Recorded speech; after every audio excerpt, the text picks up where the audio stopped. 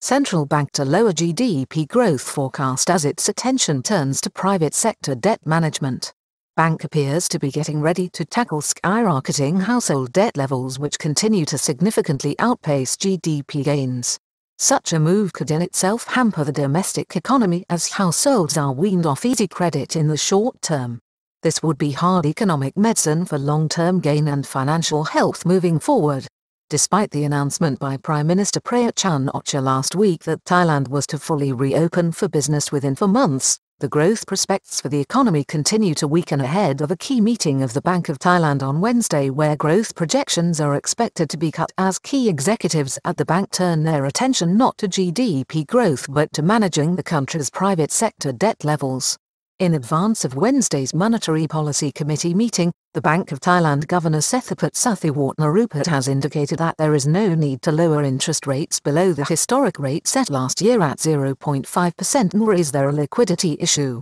There is, however, work to be done on managing private sector debt including providing soft loans for business and a concerted effort to finally tackle the country's out-of-control household and consumer debt spiral. The Bank of Thailand is expected to lower its GDP growth projection at its Monetary Policy Committee meeting on Wednesday according to a survey of financial analysts. It follows a downgrading by the National Economic and Social Development Council, NESDC, in recent weeks which now predicts a growth rate for 2021 of between 1.5 and 2.5% with most analysts projecting it at the lower end of that range. The previous Bank of Thailand forecast was 3% concern remains heightened with real fears of a fourth virus wave driven by the Delta or Indian variant. Concern is still elevated over the third wave of the COVID 19 virus in Thailand. On Monday, the kingdom reported 29 new deaths and 3,175 new infections, while Tuesday's figures showed 35 deaths and 4,059 infections.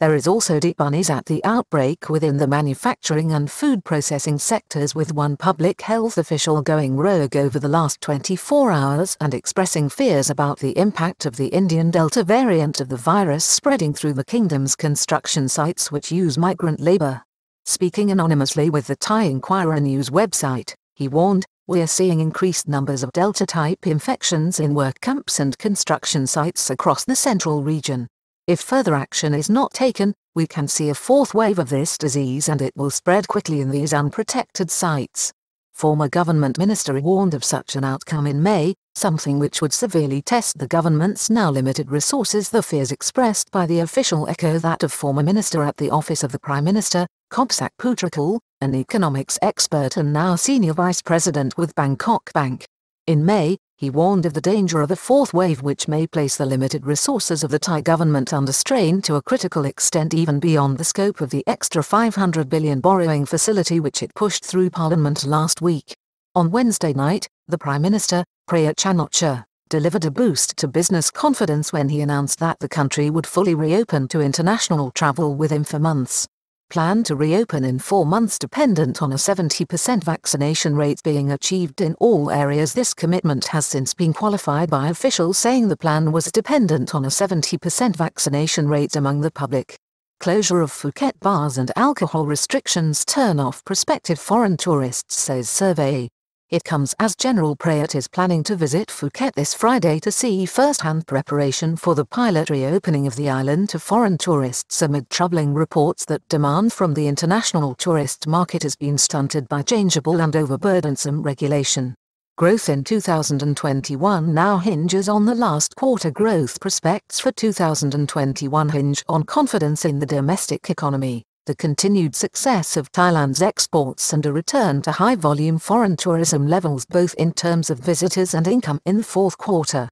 With the country's manufacturing sector now being threatened by the Delta and other variants of the disease and with complications arising in the vaccine rollout for June with officials scrambling to find 8.5 million doses when at least 10 million were required, there is apprehension about the kingdom's economic prospects which are hinged on achieving a 5% growth rate in the final quarter of 2021. Bank of Thailand governor emphasizes that interest rates and liquidity are not issues, private sector debt is in the meantime, The Bank of Thailand is unlikely to alter its record low interest rate of 0.5% with Governor Sethaput recently pointing out that the rate was not an issue nor was liquidity in the system. The bank's officials and executive top brass are increasingly focusing their attention on managing the kingdom's debt levels with efforts to provide soft loans to business and debt restructuring for business firms particularly in the tourism sector which has been the most seriously impacted by the crisis. Third virus wave now spells not just economic loss but financial danger as the kingdom's debt level rises. Key elements of this plan include an asset warehousing scheme which is being worked on in conjunction with the finance ministry at a cost of 100 billion but which is also to be supported by 250 billion inches soft loans to refloat damaged businesses throughout the kingdom, especially those linked to tourism and which are vital to the infrastructure of the industry which directly and indirectly supports 20% of GDP and has a strong influence on domestic economic confidence. Household and consumer debt burden is the new focus for the bank's senior executives. The Bank of Thailand is also looking at household debt and will be looking closely at consumer credit conditions with a view to lowering interest rates charged to end consumers. This was the view this week of Kasikorn Bank's Komsit Silpachai, the chief of the Capital Markets Division we can expect to see at least some guidance and possibly moves to lower the interest rate ceilings on consumer credits, he said when speaking with the Bangkok Post. Action on household debt looks likely after the first quarter. Saw it grow by 5% year on year from a high in the medium to longer term, the central bank is determined to do something about the high level of household debt which reached 89.3% of GDP at the end of 2020, a historic high which is thought to have grown by 5% on a year-on-year basis in the first quarter of 2021 compared with a 3.9% rise in the last three months of 2020. This is not good news for the central bank which sees the trend of such borrowing, which is 58% made up of unsecured credit card debt and personal loans, as either growing by 2% on a year-on-year basis in the aftermath of this crisis to 2025 in which case the figure will come in at 79.1% at the end of four years or as is feared, the debt level continues to balloon into a danger territory requiring strong measures. Bank to begin monitoring debt service ratio, DSR, to bring consumer borrowing into line in Thailand in this situation, the bank must heed international advice suggesting that any figure in excess of 85% could become troublesome. Many economists have long viewed a consistently high level of Thai household debt as dead weight on any prospect of strong economic growth moving forward. To deal with the problem, officials led by Mr. Don Nakornthab, the Senior Director for Financial Stability at the institution, are looking at the DSR or debt service ratio measurement for each Thai household on record within the financial system. This is the amount of disposable income compared to the amount of debt required to be serviced.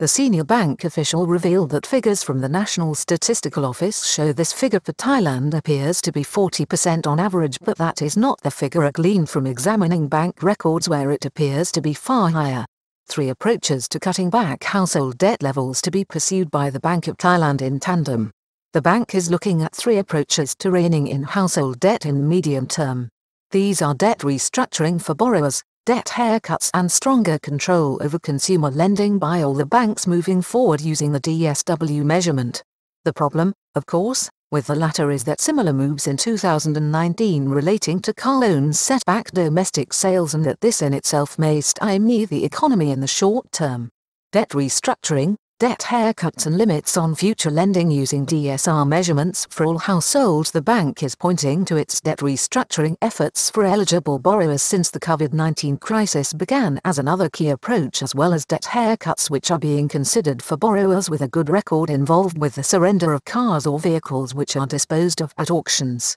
Going forward, the bank may use DSR ratio requirements to limit the extension of credit card and personal loan facilities to borrowers despite the short-term pain, as such hard medicine may be good for the country's economic health in the longer term.